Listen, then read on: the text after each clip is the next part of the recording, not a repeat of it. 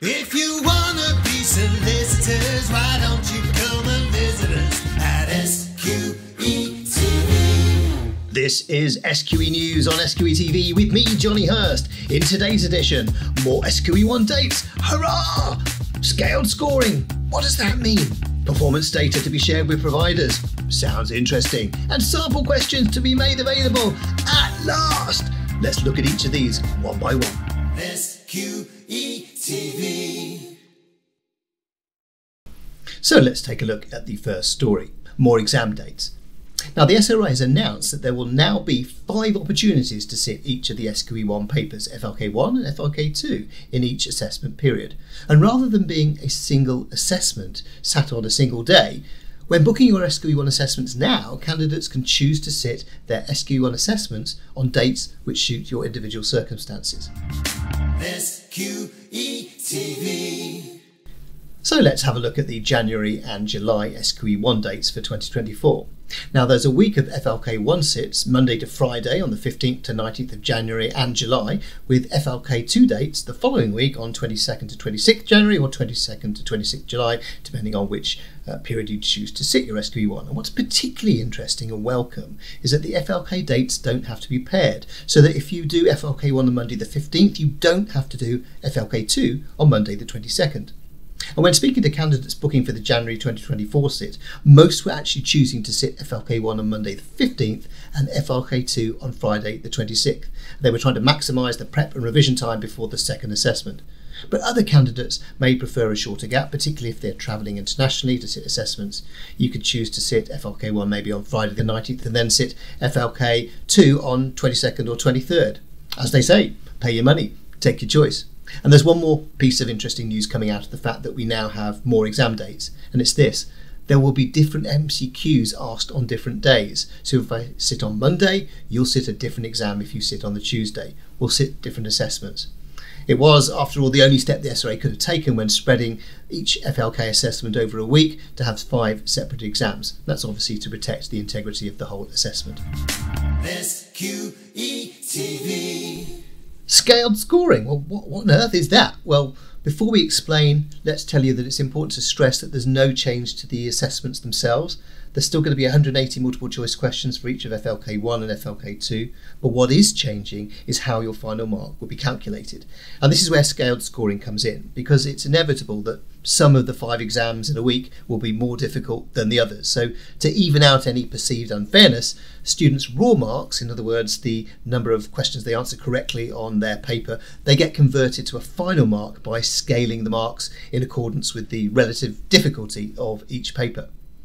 Now, the SRA have announced that each FLK assessment will be marked out of 500, and that the overall pass mark will be 300 once all these adjustments have taken place. So that's effectively a pass mark of 60%. Now, the beady eyed observers watching amongst you will know that the pass mark for all FLK assessments to date has actually been in the 50s. So, does this mean that SQE1 assessments are now going to be harder to pass than they were before?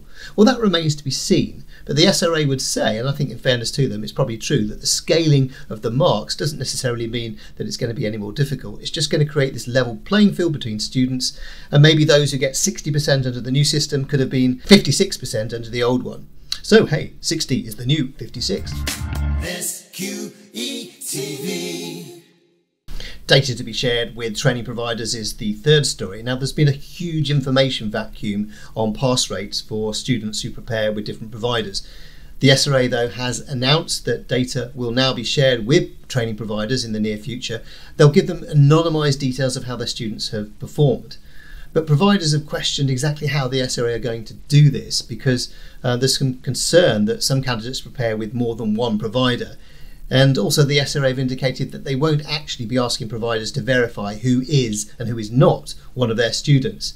So, how good and reliable this data will be, well, we'll just have to wait and see. And it also remains to be seen how granular that detail actually is. And what about sharing this data with future candidates themselves, you watching on this uh, video? The SRA aren't fans of league tables, but I know from speaking to so many candidates that this is exactly what you want to see to be able to be confident when you book yourselves actually onto a course.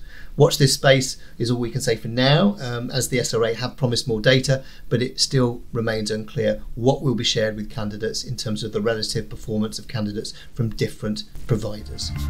SQE And finally, the most welcome news for most SQE candidates the SRA does listen, well, at least sometimes, because they will be publishing more SQE1 sample questions for MCQs. It really was a disgrace that they would only share 90 questions for an exam, which has 360 questions. But the good news is there are more MCQs to come. One thing, though, I would say before we finish this item, and this is uh, that even if candidates have bought every SQE prep course and practiced every MCQ that has ever been written by an SQE provider, there is still likely to be questions in the assessment that candidates will not have done a practice MCQ on. That's inevitable. What is important that your providers provide you with at least a thousand plus questions so that you can practice. But don't assume that you're improving your chances by buying thousands and thousands of extra multiple choice questions. First of all, there's a huge range of quality in those questions out there that have been drafted. I've seen them, and some are better than others, definitely. Uh, it's more about the courses you've prepped with, as long as you've got a core bank of MCQs for you to practice with and understand in order to be able to answer the questions that come up. Yes, MCQ practice is vital, but having an infinite bank doesn't actually help your chances of success. SQE TV. So that was SQE TV News. More next time when the SRA have more to say, so to speak.